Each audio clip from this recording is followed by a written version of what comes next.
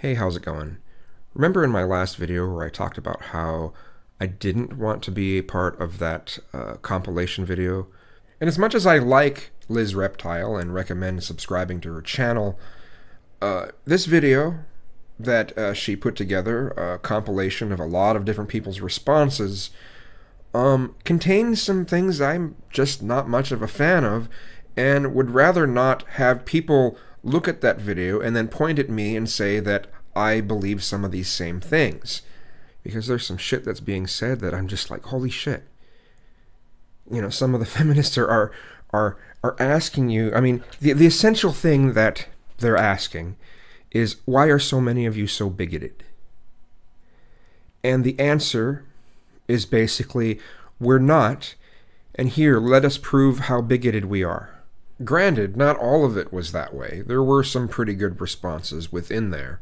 But these ones that stuck out, I think, were just awful. Just fucking awful. It's again, it's like saying, well, you know, we're we're not bigoted, but here let me prove that we are. It's weird. So, here are the worst responses as far as I'm concerned. And I'll interject once in a while. But here we go.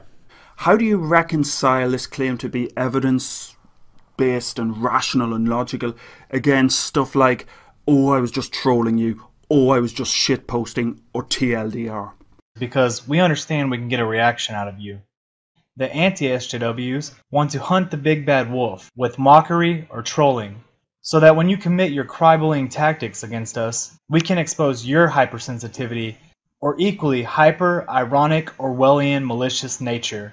We are entertainers first. Going after the low hanging fruit more often than not results in a more entertaining video. What you call whining, we call debunking. The difference is we use facts and logics. And we do talk about real problems and issues, even provide solutions. You just refuse to listen to anything outside your safe spaces and echo chambers. You talk about the problems and you talk about solutions? The only problems that you seem to talk about is the fact that you don't like what SJWs say. But you know, maybe you could use your logics to actually discuss answers for problems other than what like a lot of the uh, anti-SJWs say are things like, well, you know, black people commit more crimes. Black people commit more crimes. Is that okay to you? Is that a good answer? Let's just demonize a whole group. Muslims are bad. Muslims are bad. Muslims are bad. No, not all Muslims, but Muslims are bad. Yeah, those are such great solutions. Great, you know. When do solutions get talked about? Well, those are the solutions. We need to get people, more people to, to agree that Muslims are bad. But not all Muslims, but Muslims are bad.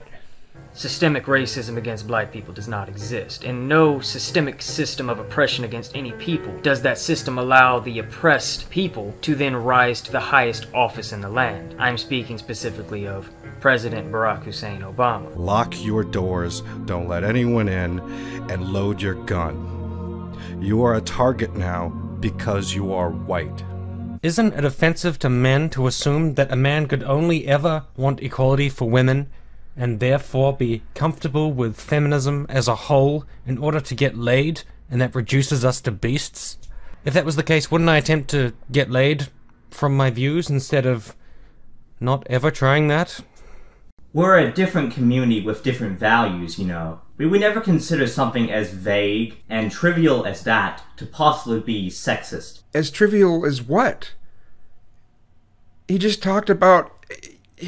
Look, look at this again. Isn't it offensive to men to assume that a man could only ever want equality for women and therefore be comfortable with feminism as a whole in order to get laid and that reduces us to beasts?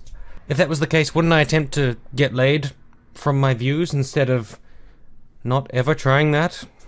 Let's look at the key phrases that he just said and then apply it again. Want equality for women? We would never consider something as vague and trivial as that to possibly be sexist, even towards men, which is something that we do talk about and do discuss with open opinions. Is the wrong clip lined up with the wrong clip?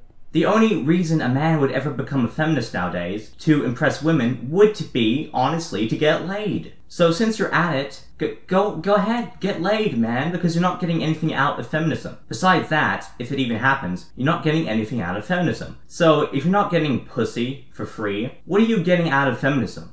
And that is both misandric and misogynistic. Good job.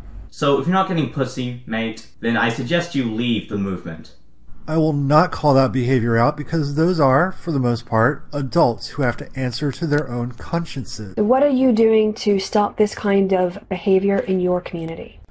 I am going to continue to do nothing because policing the actions of others and white knighting causes that don't affect me is not something I do.